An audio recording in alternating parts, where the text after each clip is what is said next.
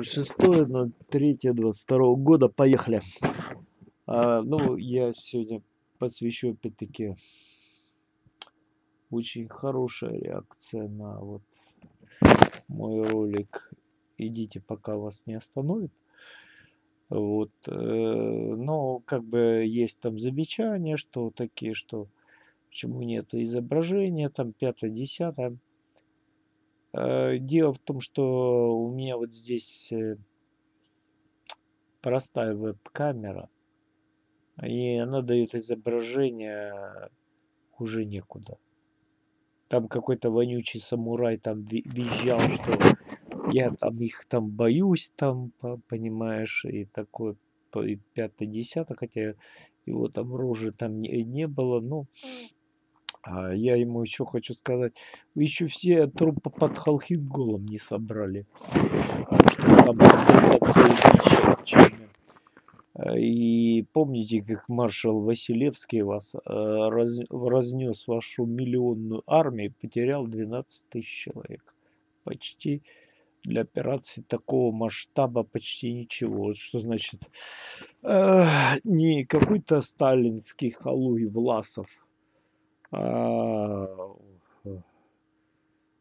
ученик Жукова, да и даже родственник.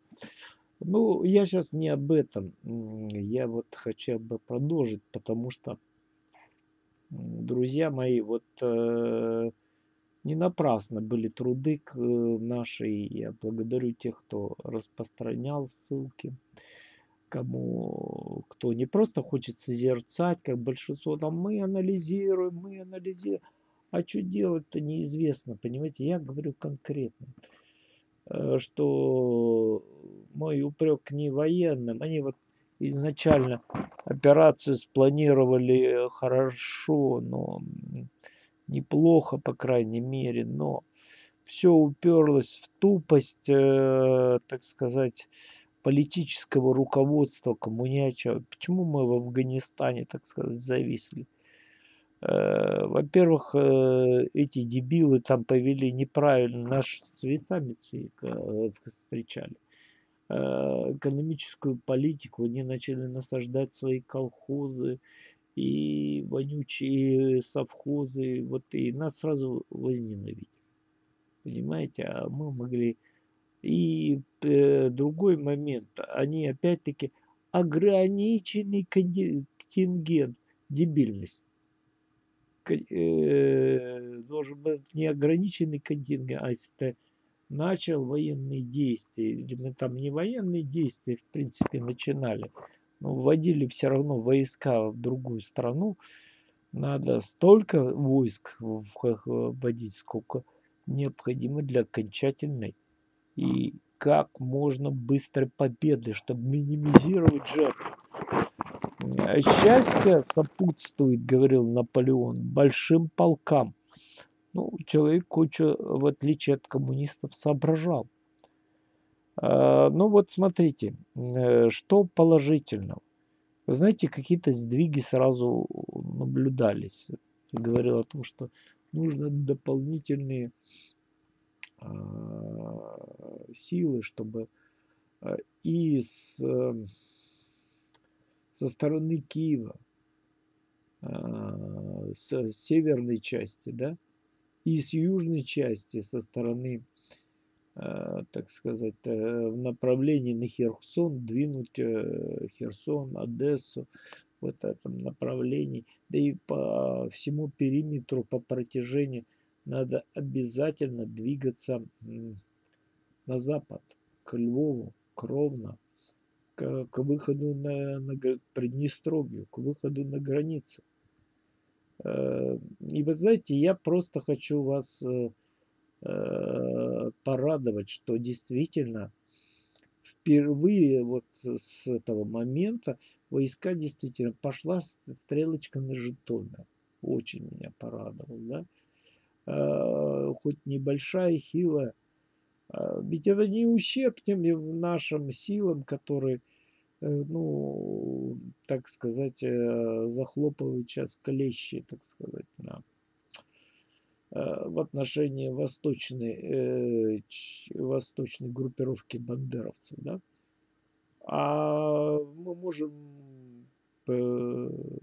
кратно увеличить наши силы. Можно вводить в день по дивизии, по две дивизии. Ну, э, ну то есть разумно вводя, понимаете, может же э, неопытные части вводить там, где не предполагается. Я потому что вот сразу вы сказали, что они основные свои части не сосредоточили, э, как я предполагал, э, э, в восточной части э, э, Бандерляндии, да?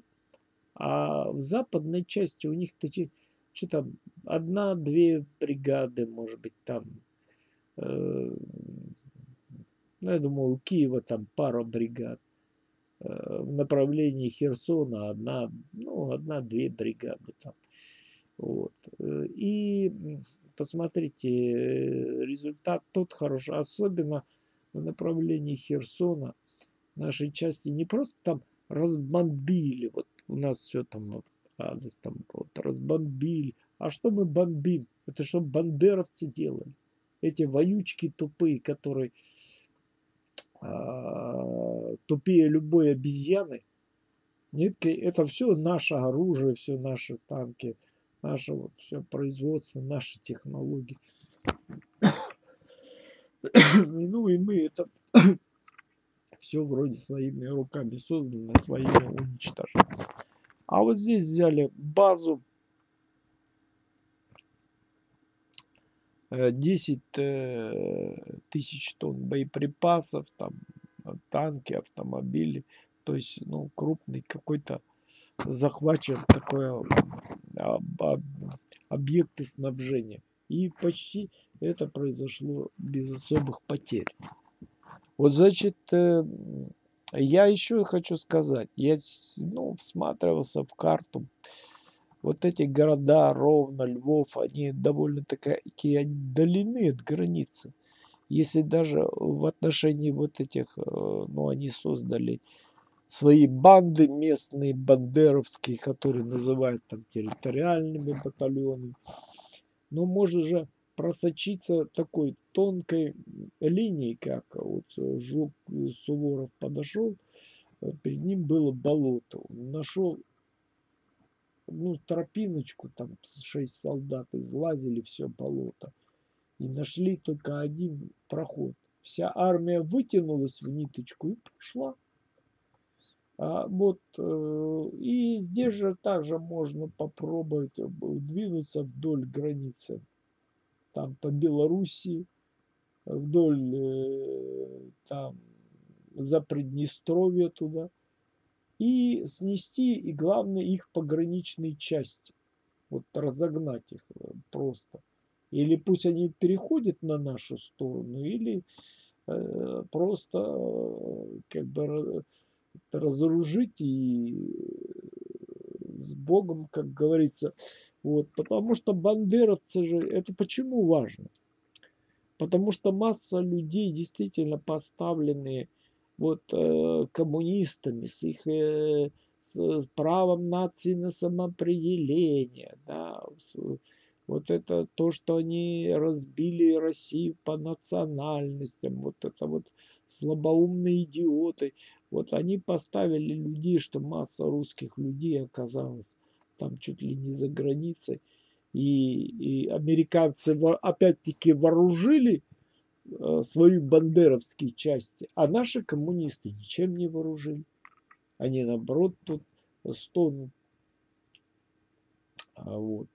И понимаете, какая ситуация. То есть, э, я думаю, что вот э, надо...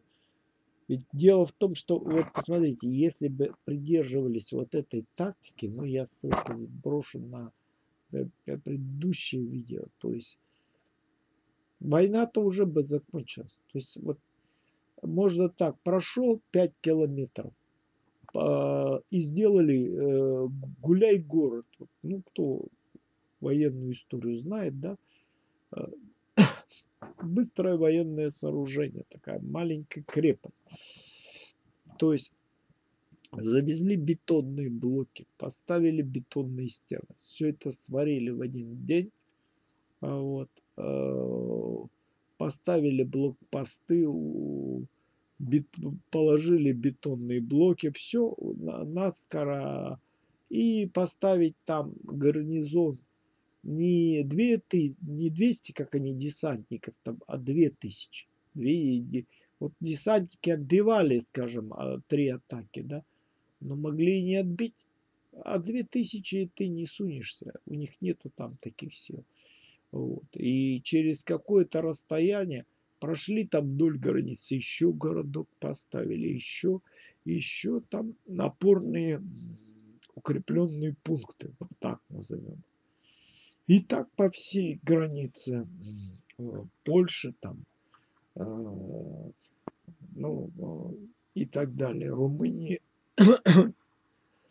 Э, и почему важно? Важно еще по следующим причинам. Ну вот в Польшу там перебрасываются части там в Румынию и так далее. Нас заверяет НАТО, что э, воевать не будем. Но будут, не будут. Но надо всегда рассчитывать на худшее. Понимаете? То есть, если они даже бы и собирались воевать, то они бы тоже говорили, что мы не будем. Мы должны рассчитывать на худшее. Это э, мы, как только мы возьмем Э, под контроль границу, даже не обязательно вот, э, ровно там Львов окружает, Ивано-Франковск, э, вот эту всю западную часть. Достаточно просто взять под контроль границу, и они все будут в стратеги... не в оперативном даже окружении, а в стратегическом окружении. Вот. Нам останется только сжимать вот это кольцо. Вот тогда уже можно будет постепенно окружить Львов, окружить э, Ивано-Франковск. Э, вот. И вы знаете, это сразу убьет надежду вот этих. Э, потому что и главное, что оседлав границу, мы прекратим поток долларов, ядов, взрывчатки, гадости, подлости, все это Запад. А, э, как замечательно сказал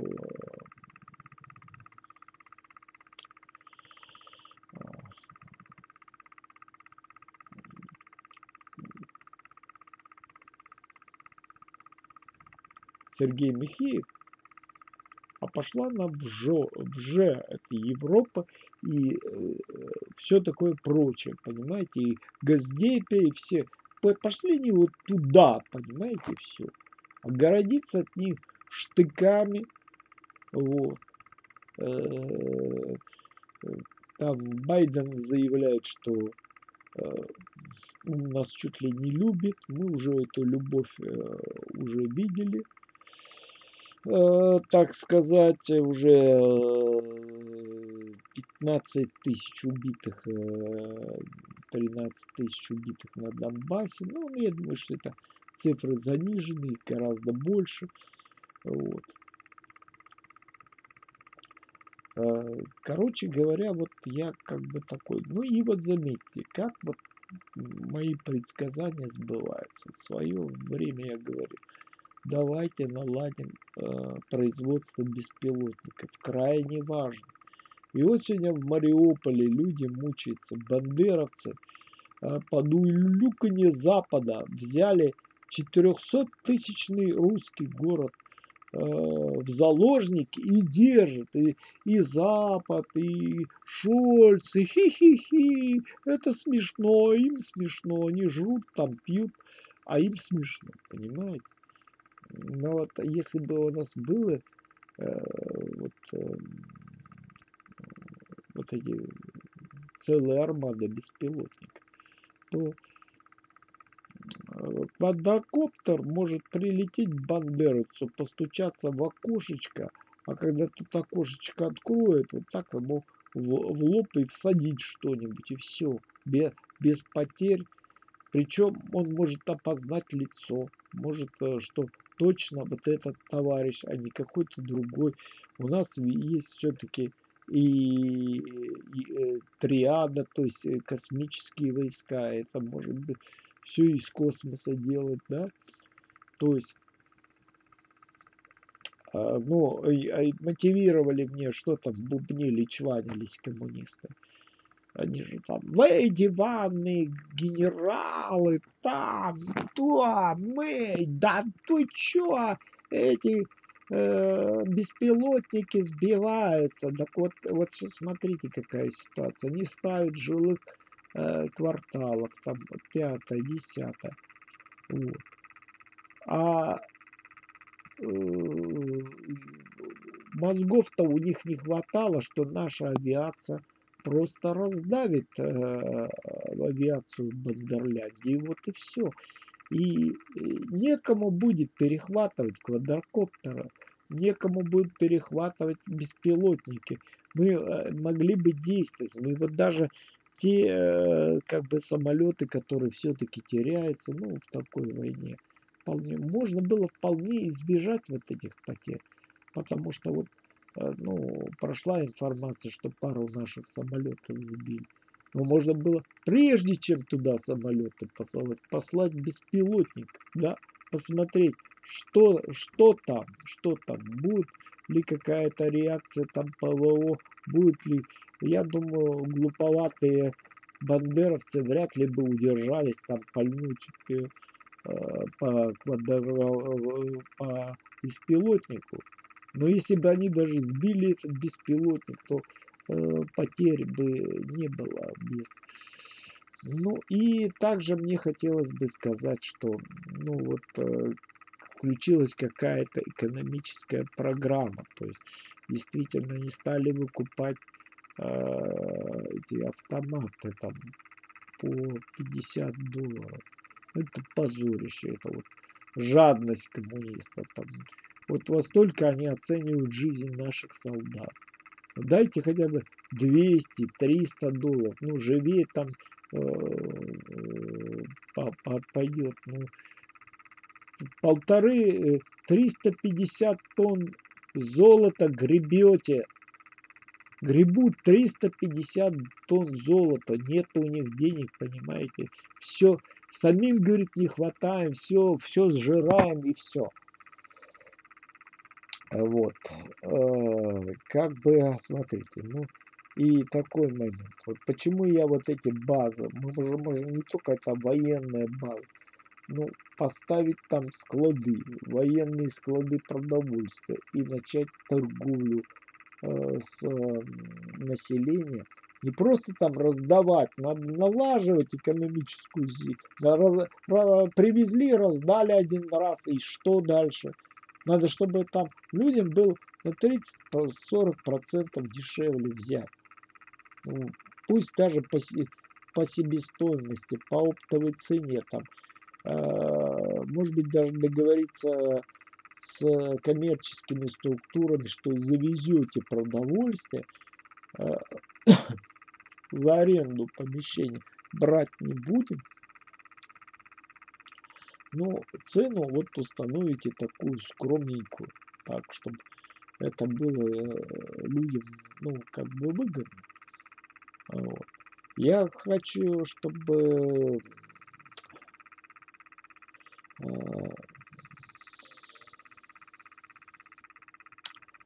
а, вот смотрите, э, дело в том, что вот рассылая мои ссылки, вы вершите историю. То есть если вот э, удалось вот это продавить еще, если бы вот с самого начала с Киева, с и вот эта крымская группировка Аксенова, назовем ее так, а, она бы, э, ее бы снабдили силами, и она энергично двинулась э, вдоль э, северного фаса и южного фаса, то война бы уже вот просто закончилась, потому что посмотрите, какие, какие расстояния прошли наши войск, войска, они бы уже такие же расстояния прошли э, к западным границам, кольцо бы, э, не, это уже не оперативное а, окружение, а стратегическое окружение состоялось бы, понимаете, то есть э, вся просто бандеровцы потеряли бы полностью внешние границы. Вот что важно. А ведь вот понимаете, э, глупые э, коммунисты, они бы не изучали ни истории, ничего. А понимаете, в историю это уже, ну, как бы такая история уже была. То есть вот это э, запереться в городах достаточно глупая в свое время у Чингисхана и Харизмшаха вышла, э, так сказать, большая война. Вот. И Чингисхан напал на Харизмшаха. Вот. И тот выбрал, имея армию гораздо большую, боеспособную, хорошую, умеющую воевать. Э, и даже сын его был талантливый полководец, но Э, вместо того, чтобы, как э, Джамаладин, его сын, предлагался э, встретить врага, так сказать, так сказать, так сказать, собрав мощный кулак, Хорезм Шах распихал гарнизоны вот эти, и вот они там сидели.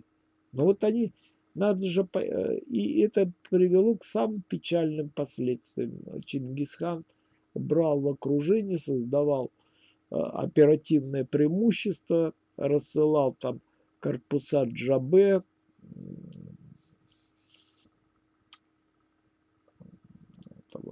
Субиде и так далее. И они брали то одну крепость, то другую и потихонечку гасили.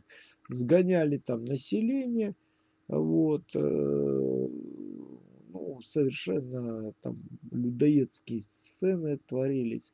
Местное население с помощью местного населения телами заваливались. Тела, так сказать, ну вот, э, ну, тогда крепости представляли какую-то, ну, вот как сейчас бандеровцы делают, так же примерно Чингисхан делал. Вот. Ну, сейчас вот они взяли э, э, тактику, можно сказать, Хорезм Шах. Ну, вот они Э, сколько угодно могут в городе сидеть, но когда-то им придется сдвинуться. Когда-то им придется э, выйти. Ну, вот как бы нашим войскам не хватает иногда терпения, да? А, терпение в бою есть спутница победы. Вот.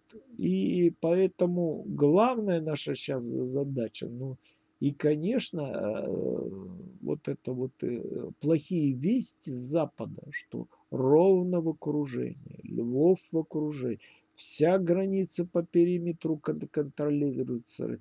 Само знание это, конечно, повлияет на э, очень плохо. Но э, я, конечно, вот по поводу вот этих э, неумения коммунистов реагировать на не такие тормоз всегда. Вот э, собирается там банда э, во Франции, вот этих всех головорезов собирает и прочее, прочее. Ну, во-первых, элементарные вещи. Ввели смертную казнь, вышли из Совета Европы. Надо делать то, что надо делать. А, ввели смертную казнь для наемников, повешение. А вот. Они же как э, говорят, мы во Франции, Шарлемане, вот, мы поедем э, в Россию поохотиться, на сафари они называют. Ну, давайте им покажем, кто охотник, понимаете? Вот. Второй момент. Э, ну, надо, наверное, и нам а, аналогично, если противник к таким действиям прибегает, то мы-то почему не можем собрать профессионалов, собрать иностранный легион? Ведь там же собираются ну, а, какие-то специалисты, ну, например, снайпера, Снайперов много не бывает. Их надо собирать по всему миру. Вот давайте для бандеровцев, группенфюрера, э, для Гауляйтера Зеленского, группенфюрера э, этого Кличко, там, бандита, да, э, вот этот рыбак, там, наркомафия, там, девы, публичные дома. Вот все надо